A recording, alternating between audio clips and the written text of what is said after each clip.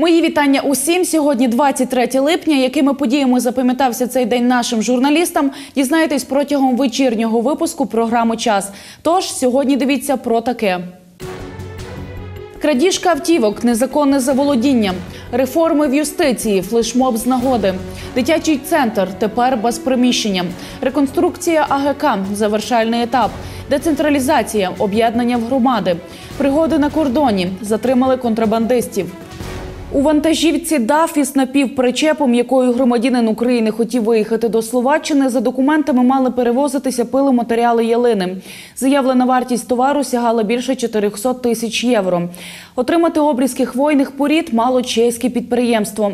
Натомість у дошках з вирізаними сховками митники виявили білоруські сигарети без акцизних марок. Партія є досить великою. Наразі встановлюється точна кількість пачок, які намагався перевести через кордон українець.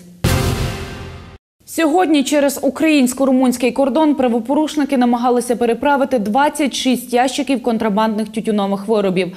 Вдалося затримати тільки двох злочинців. Операція була проведена прикордонною службою Закарпаття спільно з СБУ. Подробиці розкаже Яна Шершун. Сьогодні вранці на ділянці відділу прикордонної служби Велятино більше десяти осіб намагалися незаконно перенести через Україну румунський кордон тютюнові вироби. Сьогодні міжвідомчою групою Служби безпеки України та прикордонників було затримано та перекрито канал незаконного переправлення через державний кордон тютюнових виробів. Партія цигарок, яку намагалися переправити через кордон, за словами прикордонників, немала. В результаті успішно проведених дій було затримано 26 ящиків тютюнових виробів.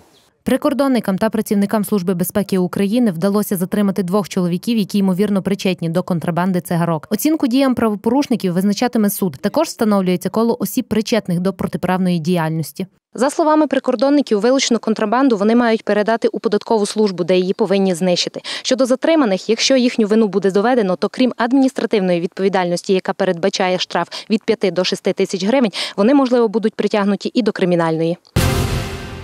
Учора Ужгородський міськрайонний суд розглянув обрання міри запобіжного заходу двом представникам громадської організації «Спецконтроль», які підозрюються у вимаганні.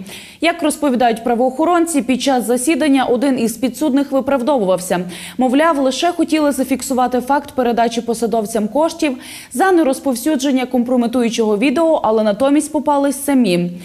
Підозрюваним у вимаганні обрано запобіжний захід у вигляді домашнього арешту. Активістів зобов'язали здати український та закордонний паспорти та інші, якщо вони їх мають. А також на вказаних осіб покладено обов'язки цілодобово не покидати житло, у якому вони проживають. Пише відділ комунікації поліції Закарпатської області.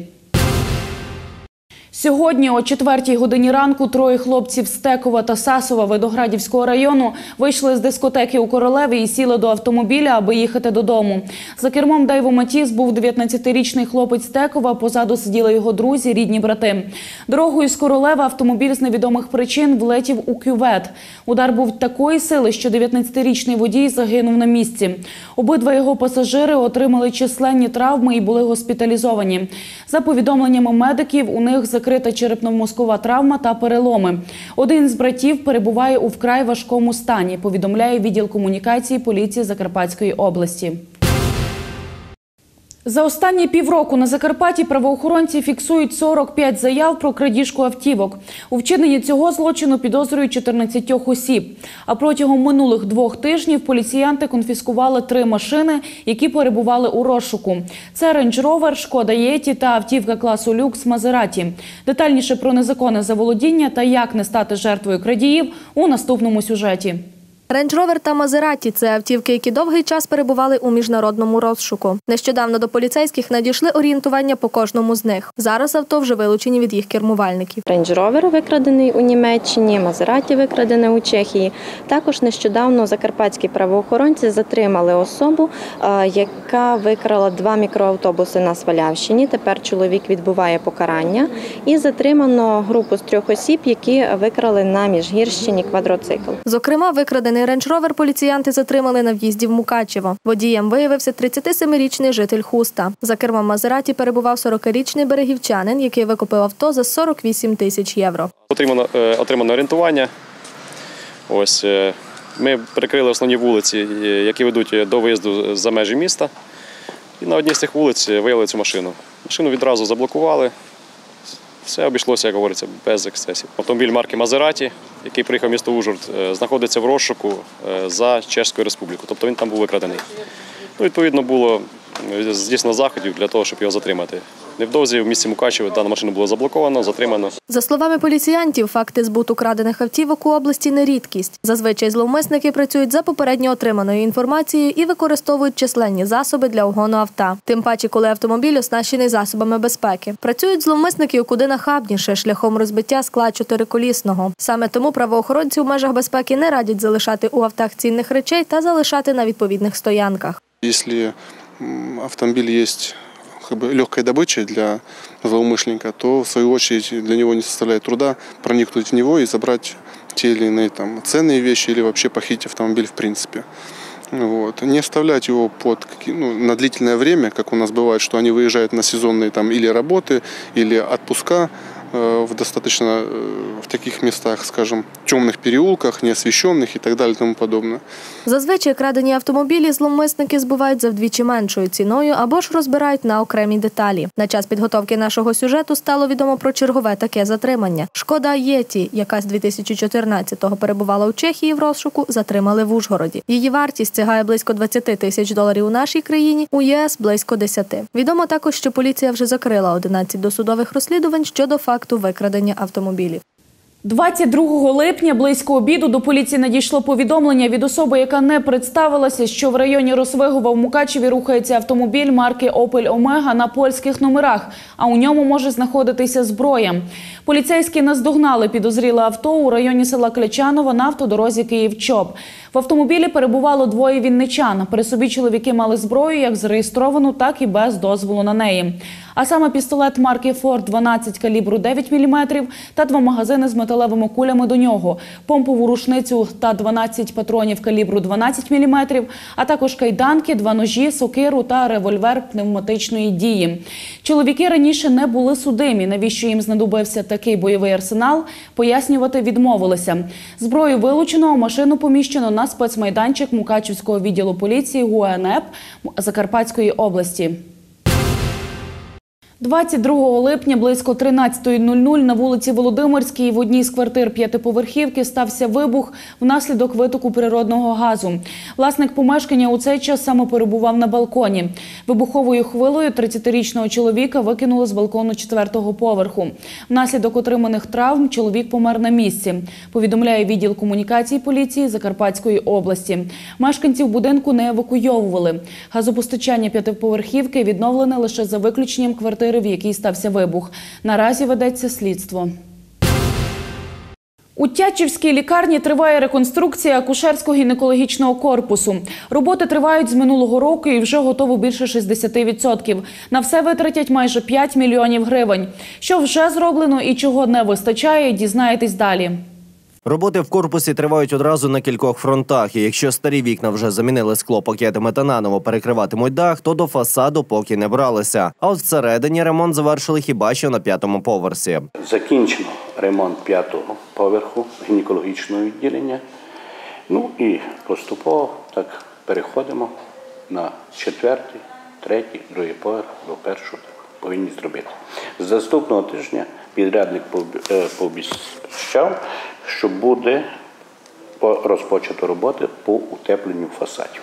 В гінекології наразі більше 40 пацієнток. Вони проходять лікування у звичному режимі. Ремонтні роботи їм не надто дошкуляють. Поки що все устраює.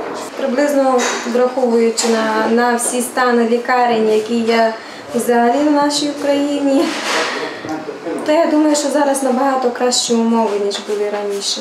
Триває ремонт і в пологовому. Це відділення зазнає кардинальних змін. Якщо вдасться реалізувати задумане, породілі почуватимуть себе тут комфортніше. Розширення кількості е, ліжкомісць не передбачається, але е, будуть покращені умови перебування для пацієнтів. Що стосується це пологового відділення, будуть е, додатково пологові зали для індивідуального перебування, сімейні пологові зали, якраз тут, де будуть умови, скажімо, європейського зразка для перебування породіль. Та зміни в облаштуванні ніяк не зачеплять старе обладнання, устаткування, яке давно потребує модернізації, наразі далека мрія, ніж реальність при теперішньому рівні фінансування. По медичному обладнанню нічого не передбачається.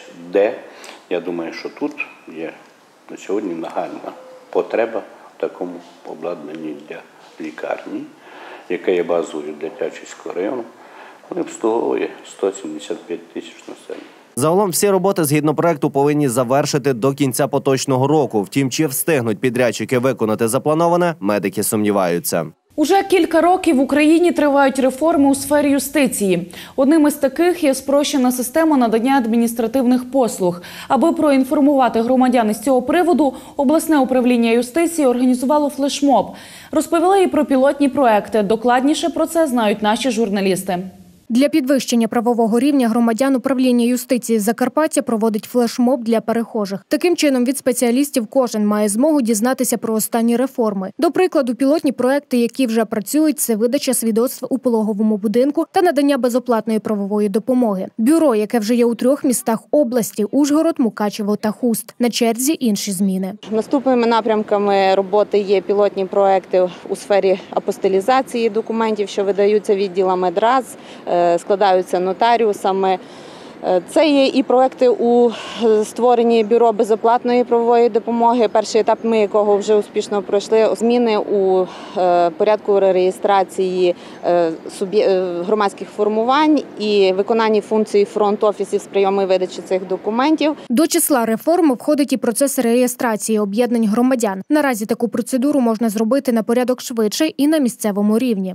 То запроваджується пілотний проєкт, е, яким передбачено, що люба особа, е, яка хоче зареєструвати то чи інше громадське об'єднання, політичну партію, громадську організацію, звертається е, з документами у місцевий центр. У наш це може бути в Пусті, в Ужгороді, в Мукачеві. Особа приймає ці документи, передає у управління юстиції. Є чітко встановлені терміни. Звідти документ повертається і, тобто, реєструється, і людина вже таким чином має.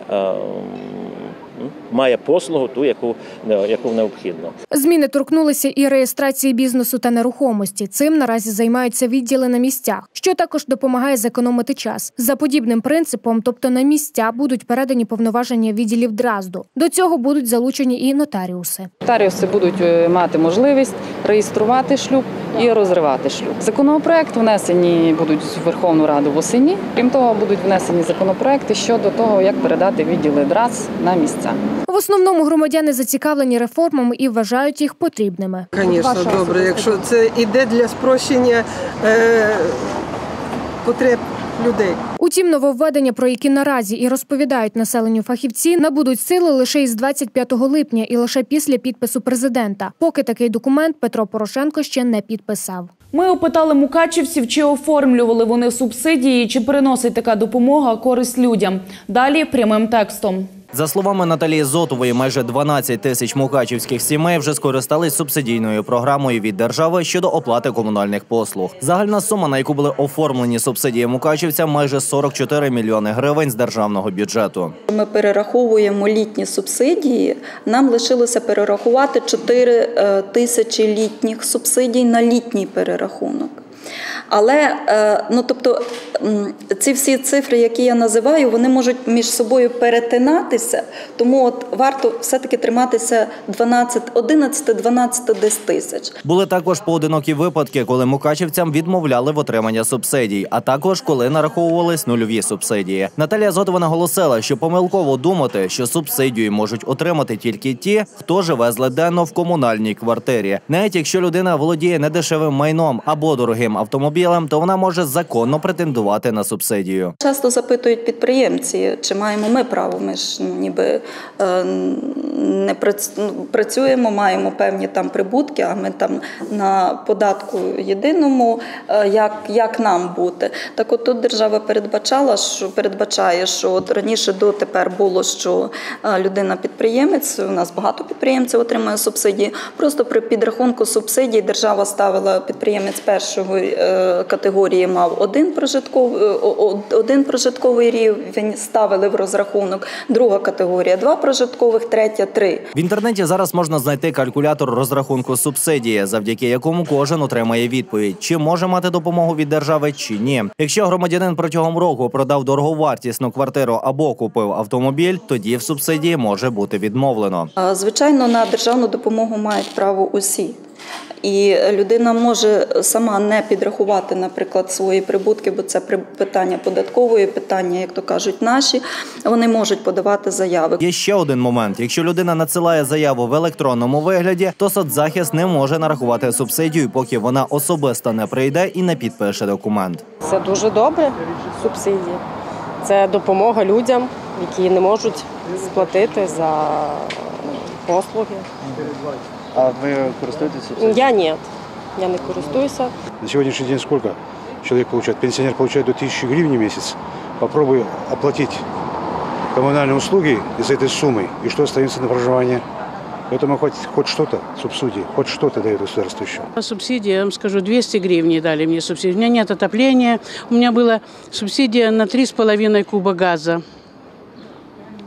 Это смешно, конечно.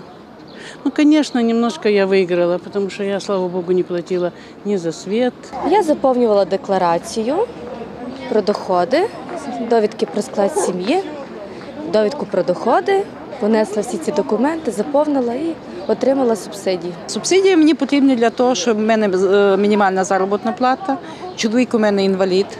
Ну і не вистачає, звісно. Так що субсидія то дуже добре. А як економити? Економимо по мірі можливості. Печки в нас є, так що дровами топимо. Стараємося чим менше вживати газу. А субсидии не дали, потому что я не приписана здесь. И 100% платишь теперь за газ. На Закарпатті розпочалася всеукраїнська акція Децентралізаційний марафон. Як правильно об'єднатися у громаду, планують навчити представників органів місцевого самоврядування. Що з цього вийшло у сюжеті Мар'яни Мартин. Децентралізації бути в області стартував децентралізаційний марафон, який охопив всі регіони, спрямований на популяризацію об'єднання громад. Цю важливу роботу ми вже проводимо з 2014 року.